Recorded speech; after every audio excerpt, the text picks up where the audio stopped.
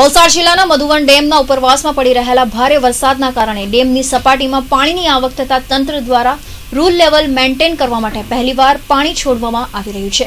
મધુવન ડેમમાં હાલ ચોવીસ હજાર એકસો એકાણું ક્યુસેક પાણીની આવક થઈ રહી છે. જેના કારણે ડેમના છ દરવાજા ખોલવામાં આવતા દમણગંગા નદીમાં પાંત્રીસ હજાર એકસો સાહીઠ ક્યુસેક પાણી છોડવામાં આવતા મધુવન ડેમના અધિકારીઓ દ્વારા નદી કિનારાના ગામોને સાવચેત રહેવા માટેની સૂચના આપવામાં આવી છે. આજની તારીખ છ સાત બે હજાર ઓગણીસના રોજ ડેમની સપાટી બોતેર પોઈન્ટ પાંત્રીસ મીટર છે. ડેમનું રીલ લેવલ બોતેર મીટર છે. જે જાળવવા માટે પાંચ દરવાજા એક મીટર ખોલવામાં આવેલ છે, તેમજ હાઇડ્રો દ્વારા પાણી છોડવામાં આવે છે. આજની તારીખે કુલ વીસ હજાર એકસો સાહીઠ ક્યુસેક પાણી દમણગંગા નદીમાં છોડવામાં આવી રહેલ છે.